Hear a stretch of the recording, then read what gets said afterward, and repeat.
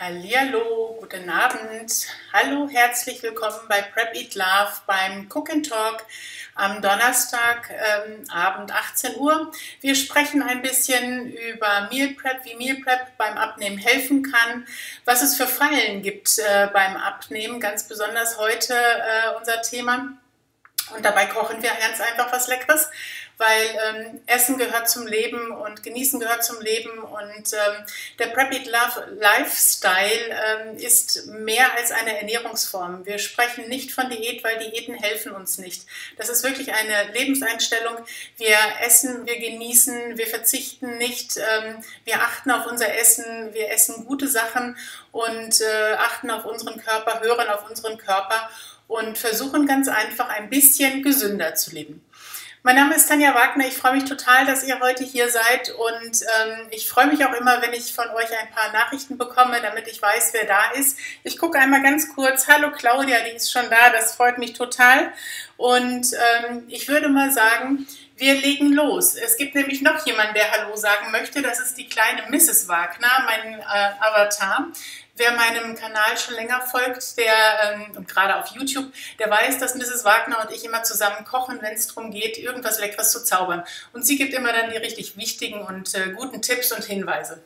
Also wir machen das gemeinsam und ähm, was machen wir heute überhaupt? Wir sind heute am ähm, Cook and Talk Donnerstag. Das heißt, ähm, im Rahmen meiner I Love Meal Prep Challenge habe ich drei verschiedene Tage entwickelt. Am Sonntag gibt es den Meal Prep Sonntag, da bereiten wir immer Top 3 Gerichte zum Thema Meal Prep vor. Am Dienstag gibt es Quick Cooking, das bereiten wir zum Teil schon am Sonntag vor. Und am Donnerstag gibt es nochmal die schnelle Feierabendküche und wir sprechen über ein paar Sachen, die rund ums Thema Abnehmen interessant sind. Also, wir gehen jetzt einfach mal ähm, weiter vor. Die Prep It Love Challenge, die gibt es jetzt noch bis ähm, in die zweite Maiwoche rein. Wenn ihr noch Lust habt mitzumachen, ich lade euch herzlich ein. Es ist total unverbindlich, es kostet nichts, das Ganze ist nur für euch, nur für dich. Und ähm, es geht einfach darum zu zeigen, dass Meal Prep das Leben deutlich erleichtern kann, das Abnehmen erleichtern kann, das gesunde Essen erleichtern kann, damit man einfach wieder ein bisschen mehr Zeit für sich selber hat. Zum Beispiel zum Fußnägel lackieren oder zum Fingernägel lackieren oder was auch immer ihr haben möchtet, euch in die Ecke setzen, ein Buch lesen. Meal Prep bedeutet deutliche Entspannung und hilft definitiv beim Abnehmen. Ich äh, kann es beweisen, äh, an mir hat es wunderbar gewirkt, aber auch an vielen anderen. Ich würde sagen, wir gucken einfach mal so ein bisschen weiter und äh, ich würde mich unheimlich freuen, wenn ihr mitmacht. Da unten eingeblendet ist äh, die Webseite von der I Love Meal Prep Challenge. Wer noch nicht dabei ist, guckt doch einfach mal unverbindlich drauf. Da findest du immer die Einkaufslisten für die jeweiligen Tage. Da findest du aber auch die Termine. Und wenn du dich anmeldest zu der I Love Meal Prep Challenge, dann gibt es nachher auch ähm, ein ganz tolles Booklet mit allen Rezepten und so weiter. Ganz einfach bei dir ins E-Mail-Postfach geschickt. Ja, Mrs. Wagner äh, fängt jetzt hier schon an, Thema ähm, Abnehmen, aber ich gucke jetzt einfach erstmal. Hallo, ähm, ja, Babette oder Thomas, ich weiß es nicht. Ähm, Annette, hallo, Dani, hallo, das ist schön, wunderbar, ich freue mich total. So, Claudia, wunderbar, das stimmt. das freut mich. Ähm, ganz kurz, dann geht es auch gleich schon ans äh, leckere Essen. Aber das habe ich euch für heute versprochen, die Top 3 Fallen zum Abnehmen. Was ist das? Ähm, meiner Meinung nach, nicht nur meiner Meinung nach, sondern was sind wirklich die Top 3 Fallen, wenn man so die Leute sich mal anhört? Ach, beide, das ist sehr schön. hallo Thomas, hallo Babette. Ähm, die Top 3 Fallen, in die man immer wieder reintappt, in die man, in die bin ich tausendmal reingetappt, als ich äh, noch Diäten gemacht habe, als ich noch nicht wusste, was ich jetzt weiß, Gott sei Dank. So, was ist das? Das erste ist ganz einfach, nichts eingekauft. Also, wenn du Hunger hast, kommst nach Hause, hast nicht eingekauft, äh, was machst du dann? Dann ist man natürlich immer sehr, sehr schnell dabei, dann doch die Tiefkühlpizza zu nehmen, ähm, wobei dann hätte man ja eingekauft, aber das Falsche. Aber noch schneller greift man zum Hörer und äh, bestellt eine Pizza oder man geht nebenan zum Dönerladen. Ist ja auch gesund, ist ja nur Brot und Salat und ein bisschen Fleisch.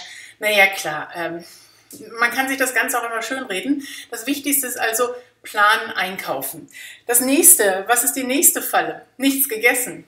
Das sage ich auch immer. Ähm, hallo Dina, das ist schön, dass du da bist. Ähm, nicht essen bringt gar nichts. Wenn wir nichts essen, wenn wir versuchen zu verzichten, dann geht der Körper eindeutig auf Sparflamme und dann fährt er den gesamten Stoffwechsel runter und dann hat man eigentlich äh, genau das Gegenteil von dem erreicht, was man erreichen möchte, nämlich man nimmt überhaupt gar nicht ab. Und äh, das nächste ist ganz einfach, wenn man verzichtet, wenn man nichts gegessen hat, irgendwann ist dann der Insulinspiegel so niedrig, dann kriegt man Heißhunger oder man geht dann doch einkaufen und dann muss es ganz schnell gehen und man kauft irgendwas an der heißen Theke, schnell ein Brötchen mit äh, Leberkäse. Sehr lecker, klar, aber die Nährwerte, um Gottes Willen, darf ich gar nicht drüber nachdenken. Nicht, dass man sich das nicht trotzdem mal gönnen kann, aber ungeplant. Das ist ja immer so ein bisschen das Thema. Das äh, kennen wahrscheinlich auch die meisten. Naja, und das Fazit ist ganz einfach, äh, wenn ihr keinen Mealplan gemacht habt, wenn ihr gar nicht wisst oder wenn du gar nicht weißt, was du essen sollst oder was du kochen sollst, dann äh, bist du auch wieder dabei zu überlegen, oh Gott, was kann ich denn jetzt schnelles zaubern? Und in der Regel wird es nicht das, was optimal ist für dich, für deinen Körper und für dein Wohlgefühl. Aber das Ganze wollen wir ja umgehen und von daher machen wir jetzt was ganz Leckeres, nämlich Quetschkartoffeln.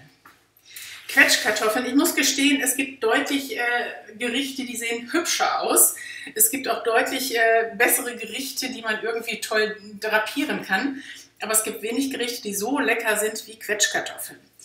Quetschkartoffeln sind ähm, gekochte Kartoffeln, die man wunderbar vorbereiten kann. Und zwar kann man ähm, die vorher schon kochen wann auch immer Kartoffeln gekocht, halten sich Ewigkeiten im Kühlschrank. Also mit Ewigkeiten meine ich vier, fünf Tage, das ist gar kein Problem. Und während ich hier rede, muss ich mal ganz kurz in meinen Backofen gucken. Da habe ich nämlich schon die erste Portion Quetschkartoffeln für euch vorbereitet. Ja, das sieht alles schon super aus. Ähm, wie geht das jetzt also und was brauchen wir dafür? Ich zeige euch mal die Liste, was wir alles äh,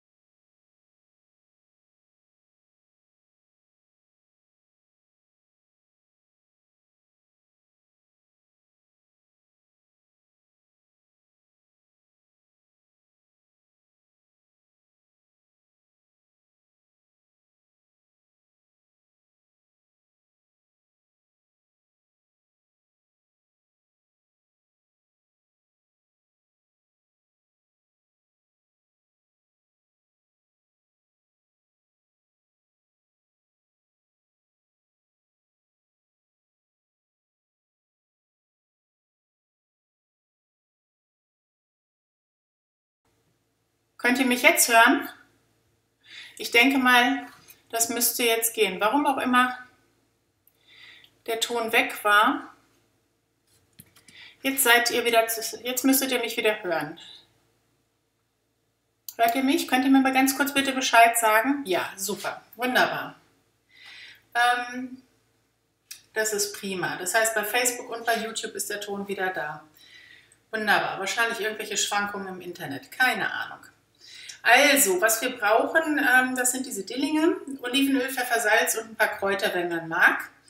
Ähm, das nächste ist eigentlich alles, was wir für Toppings machen. Das müsst ihr nicht alles machen, das ist einfach wirklich so, wer mag, ist das eine, wer nicht mag, ist das andere. Ich esse unheimlich gerne diese Kartoffeln mit Blattspinat und ähm, frischen, wachsweich gekochten Eiern. Wachsweich oder hart gekochte Eier, je nachdem, aber das schmeckt sehr, sehr lecker mit Blattspinat. Man kann frischen nehmen oder man kann auch ähm, äh, tiefgefrorenen nehmen, den man dann auftaut. Das habe ich einfach mal hier so vorbereitet schon. Also da geht beides, das ist kein Problem. Ähm, dann braucht man natürlich Knoblauch und jede Menge Eier. Die Variante mit Lachs ist was zum Beispiel für meinen Mann, der isst unheimlich gerne Lachs. Dann nehmen wir einfach statt der Eier Lachs dazu, also je nachdem, wie ihr das mögt und wie eure Zutaten bzw. eure Nährwerte auch aussehen. Dann haben wir ähm, eine nächste Variante, da ist die Basis natürlich immer das gleiche. Man kann diese Kartoffeln auch einfach nur mit Kräutern und Käse machen, zeige ich euch gleich. Oder im Elsässer-Style, das ist so ein bisschen dieser Flammkuchen-Style. Ähm, auf den gehen wir nächste Woche auch nochmal ein. Und da kann man einfach Creme fraiche nehmen, Lauchzwiebeln, Schinken und ein bisschen Käse. Ja, und ich würde sagen, wir legen einfach mal los und ich zeige euch, äh, wie das Ganze aussieht. Ich hole jetzt erstmal meine vorbereitete Variante aus dem Backofen, damit ihr seht, wie die Kartoffeln nachher aussehen.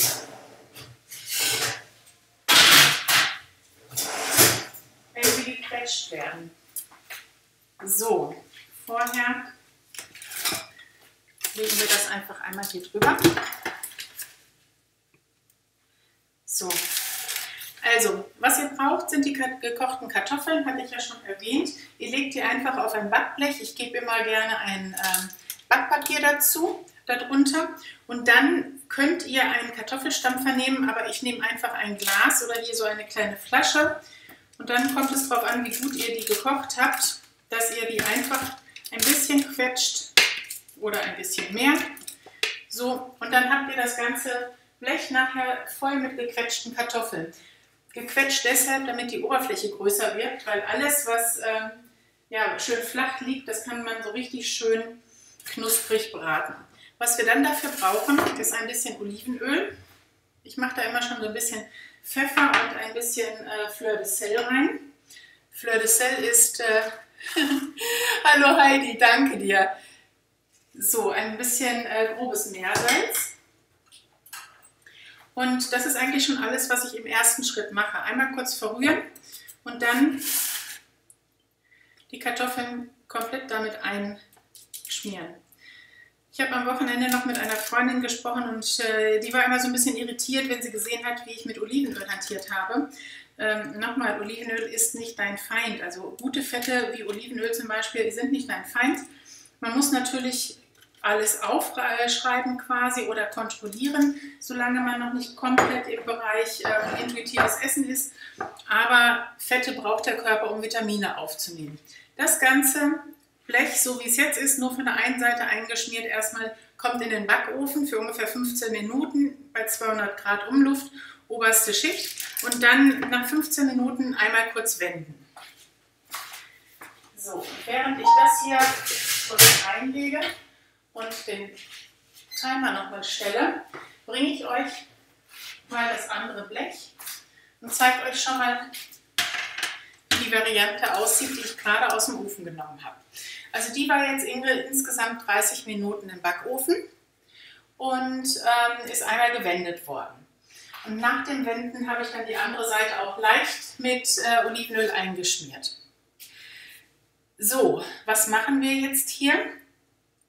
Ähm, wir überlegen, was wir für Toppings machen wollen. Für die Variante mit dem Elsässer-Style, ähm, das wird dann nachher nochmal in den Ofen gegeben. Die Variante mit dem Käse und den Kräutern kommt auch nochmal in den Ofen. Die anderen Varianten, die werden ähm, einfach so gegessen. Das heißt, die können einfach noch ein bisschen mitbrutzeln nachher, damit sie noch knuspriger werden. Also wir steigern jetzt oder wir starten jetzt nochmal mit der Variante mit den Kräutern geben einfach noch so ein ganz klein bisschen was hier drauf. Ich nehme immer gerne ein bisschen Oregano und Kräuter der Provence, das wisst ihr ja mittlerweile schon. Und äh, wer mag, kann auch noch ein bisschen eingelegten Knoblauch da drauf geben, das ist auch unheimlich lecker.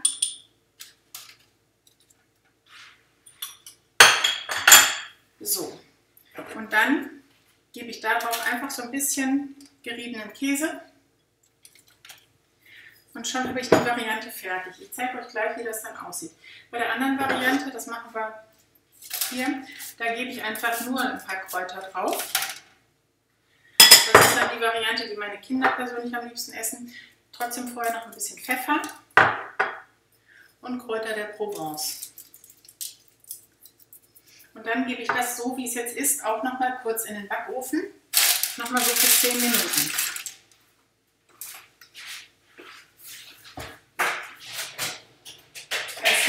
Nächstes machen wir die, ähm, die Creme Fraiche für, den Elsässer, äh, für die Elsässer Variante und den Spinat für die Variante mit äh, Spinat und Eiern oder mit Spinat und, ähm, und dem Lachs. So. Also, wir starten mit der Lachsvariante. Nehmen einfach eine Pfanne, geben da auch ein bisschen Öl rein.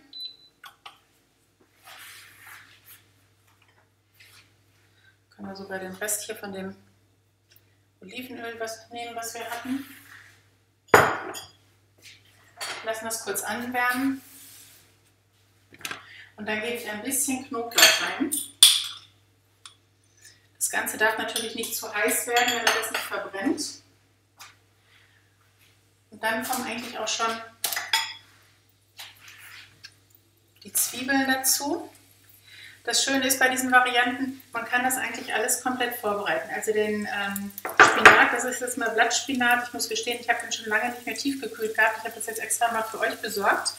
Ähm, den habe ich einfach, das sind so Pellets, einfach heute Morgen dann aus dem Kühlfach genommen und jetzt auftauen lassen nebenbei. Aber wenn man das hat, hat man natürlich überhaupt gar keine Arbeit eigentlich und ähm, kann das einfach jederzeit aus, dem Tiefkühltruhe, aus der Tiefkühltruhe nehmen. Die Zwiebeln, wisst ihr ja schon mittlerweile von mir, die mache ich mir einmal in der Woche, dass ich so ein ganzes Glas voll klein schneide und habe das auch im Kühlschrank stehen. Ihr könnt das aber auch wunderbar in die, ähm, diese Glascontainer geben, die ich sonst immer habe. Das äh, zeige ich euch das nächste Mal, wenn wir auch nochmal einen Flammkuchen-Snack machen. Ähm, die sind ja oftmals drei geteilt und dann kann man wunderbar auf der einen Seite schon ein bisschen von dem Schmand reingeben, auf der anderen Seite die Zwiebeln reingeben. So. Die müssen jetzt nur ganz kurz ein bisschen glasig gedünstet werden. Und dann gebe ich einfach mal den Spinat dazu.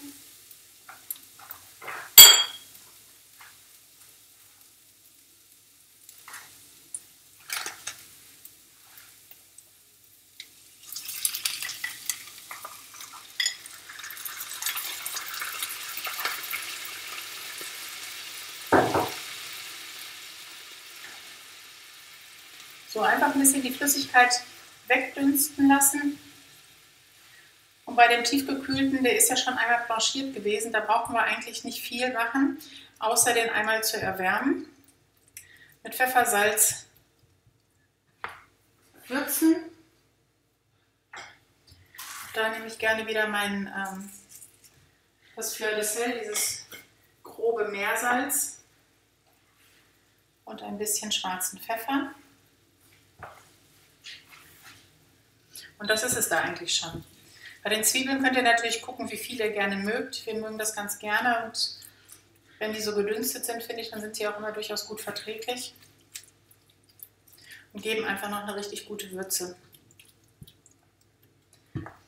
So, ja, mehr muss man hier eigentlich nicht machen. Wenn du ähm, keinen tiefgekühlten Spinat nehmen möchtest, dann machst du das genauso, wie ich jetzt gerade gemacht habe und fügst dann nachher einfach hier die leicht einmal kurz abgewaschenen ähm, Blätter, Spinatblätter dazu. Und dann ähm, einmal kurz unterheben, die fallen sofort ein. Alternativ kannst du natürlich auch aus dem Spinat hier, aus diesem Babyspinat, wunderbaren Salat dazu machen. Der passt auch ganz lecker.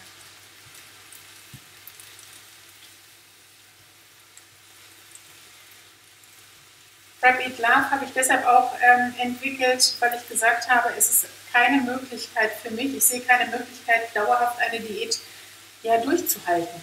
Weil ich will nicht immer Diät machen. Das habe ich, meine, ich weiß gar nicht, wann ich meine erste Diät gemacht habe. Ich glaube mit 14. Also sprich, ich habe schon ein paar Jahrzehnte Diäterfahrung hinter mir.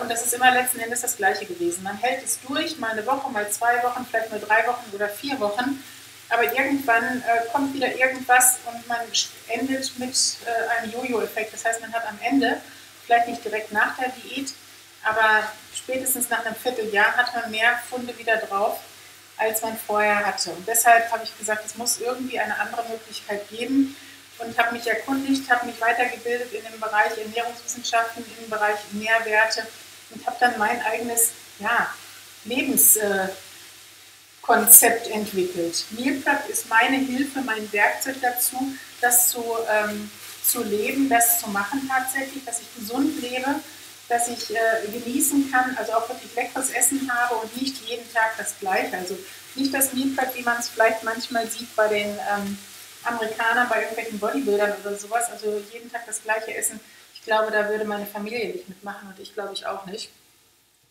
Aber wenn man das Ganze ein bisschen vorbereitet, dann kann man das wunderbar einplanen und man kann vor allen Dingen auch eine sehr gute Kontrolle darüber behalten, was man an Nährwerten zu sich nimmt. Es geht ja nicht nur um die Kalorien, sondern es geht um eine gute Nährwerteverteilung und ähm, darauf kommt es halt an.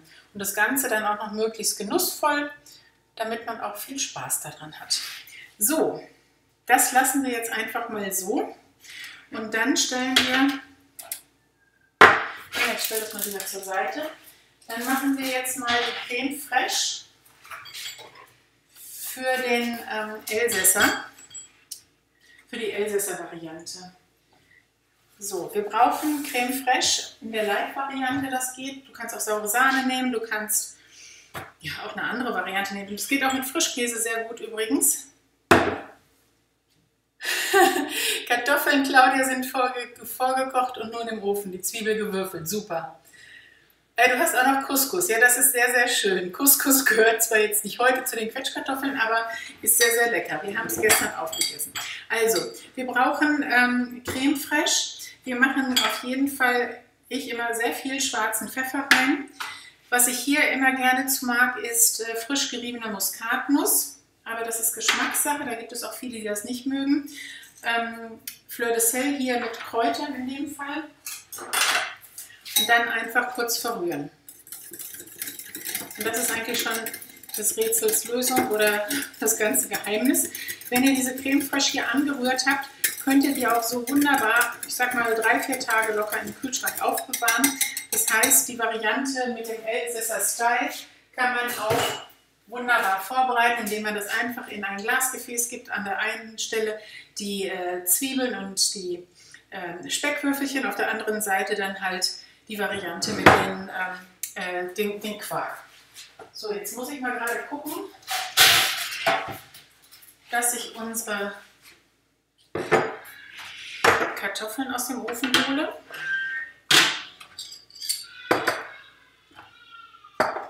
Damit wir das vorbereiten können weiter.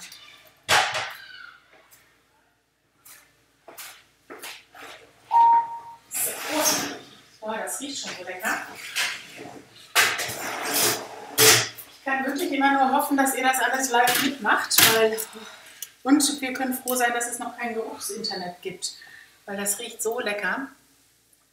Also gut, so sieht das schon mal aus. Hier ist schon mal mit Käse überbacken. Das sieht schon mal sehr, sehr lecker aus. Hier ist die Variante mit Kräutern. Und jetzt, was wir hier machen, ist jetzt ähm, ein bisschen Schmand drauf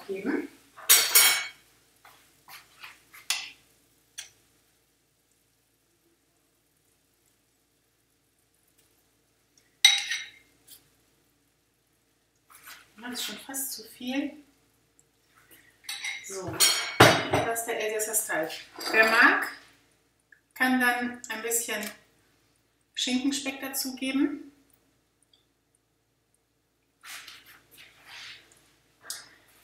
Dann ein paar Frühlingszwiebeln, die hatte ich auch vorbereitet hier schon. Die kann man auch erst nachher dazugeben, das schmeckt auch gut. Und dann ein bisschen Käse oben drauf. So. Als erstes nehmen wir aber dann mal die Kartoffeln raus, die schon fertig sind, damit die nicht zu dunkel werden. Wow. Hm. Alles, was runterfließt, gehört in den Topf, oder wie war das?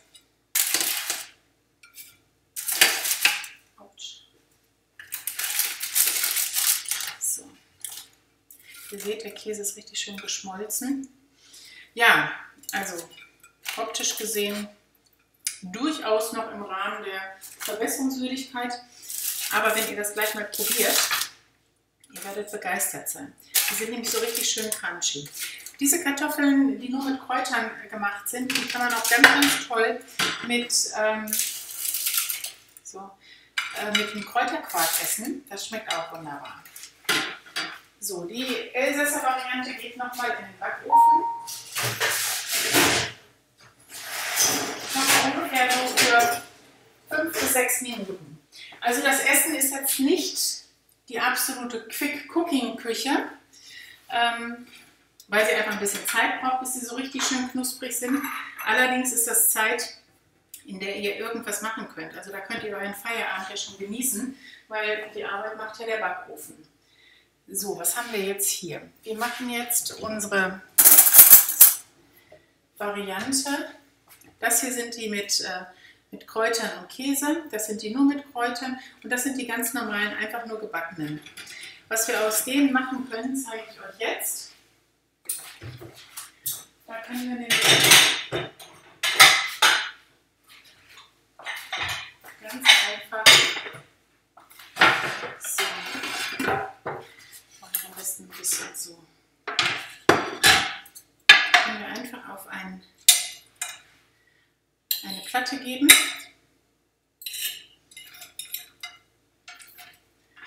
Und dann gibt es da verschiedene Möglichkeiten.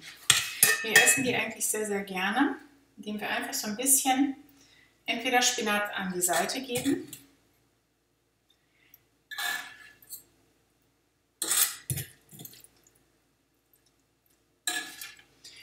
Kartoffeln und Spinat sind eine wunderbare Kombination, wenn es ums Thema Nährwerte geht. So, einmal die Möglichkeit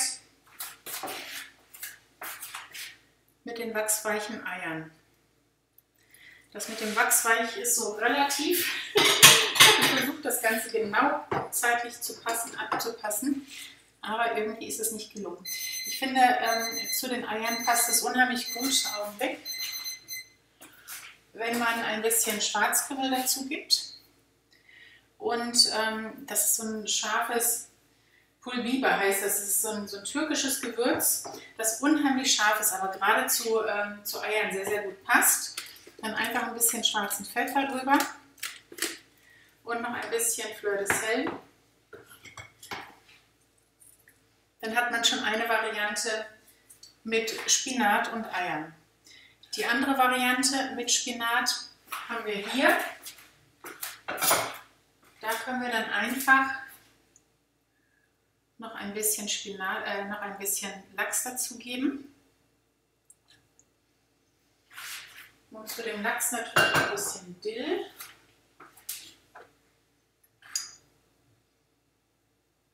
Das passt trotz, der, äh, trotz des Spinats sehr, sehr gut dazu. Ich würde trotzdem immer noch eine Variante machen oder eine Sache machen. Ich würde immer noch ein bisschen Zitrone mit dazu geben. Einfach nur so ein Scheibchen, dass ich das jeder selber noch mit da drauf machen kann.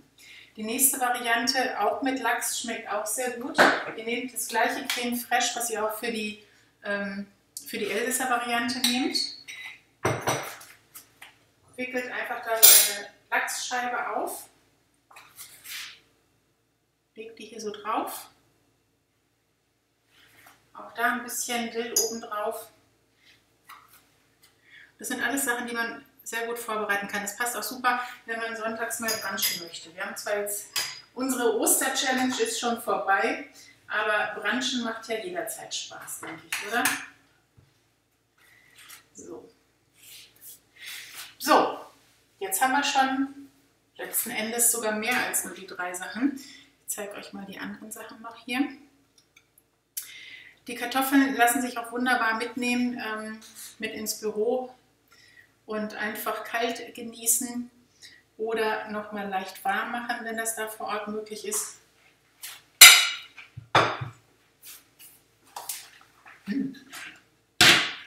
Also, schmeckt schon mal hervorragend. Jetzt gucke ich ganz kurz nach, dem, nach der Elsässer Variante.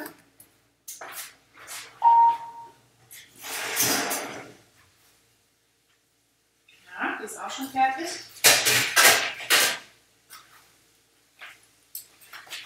So. Und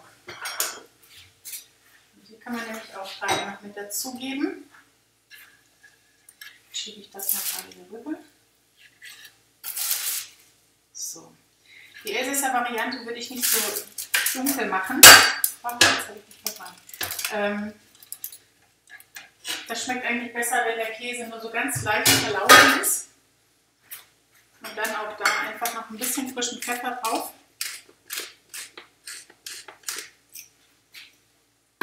Und dann war es das auch schon.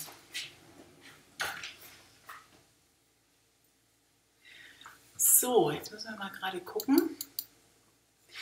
Ja, Mrs. Wagner und ich sind uns einig. Äh, wir empfehlen eindeutig Meal Prep dafür.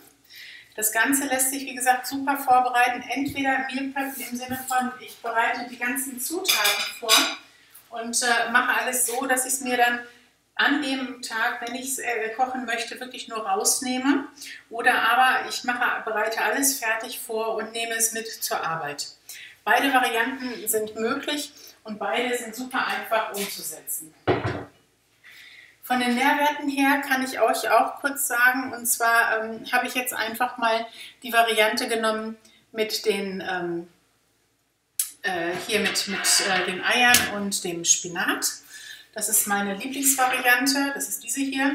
Und die hat bei 293 Kalorien, also da habt ihr alle Möglichkeiten der Welt. Ich habe einfach das gesamte Rezept, was ich genommen habe, die ganzen Kartoffeln, also das war ja wirklich ähm, eine Riesenmenge Kartoffeln, die habe ich durch sechs Portionen geteilt und dann kam das raus. Das heißt, hier sind natürlich die Proteinwerte zum Beispiel auch ganz gut, das kann man noch weiter toppen, aber ähm, ich denke mal, da kann ja jeder seine Portion so zusammen machen, zusammenstellen, wie er mag. Ja, wie sieht es aus? Ich freue mich natürlich immer über euer Feedback. Das heißt, wenn es euch gefallen hat, wenn euch die Rezepte gefallen haben, wenn euch das Essen geschmeckt hat, dann freue ich mich, wenn ihr mir ein Feedback gebt, ein Feedback da lasst hinter dem, wie, unter dem Video, unter, sei es bei YouTube oder aber bei Facebook. Und ähm, darüber würde ich mich, wie gesagt, sehr freuen.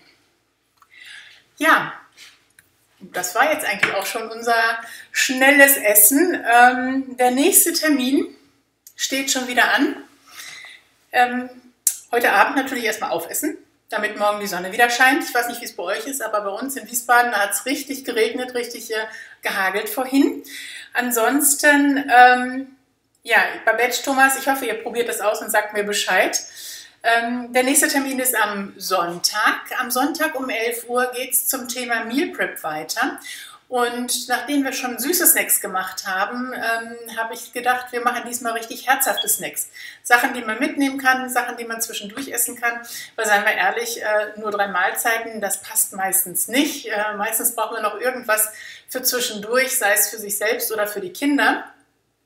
Und von daher gucken wir uns drei richtig super leckere Top, die Top 3 Snacks an zum Meal Preppen. Ich hoffe wirklich, dass ihr dabei seid. Ich würde mich unheimlich freuen.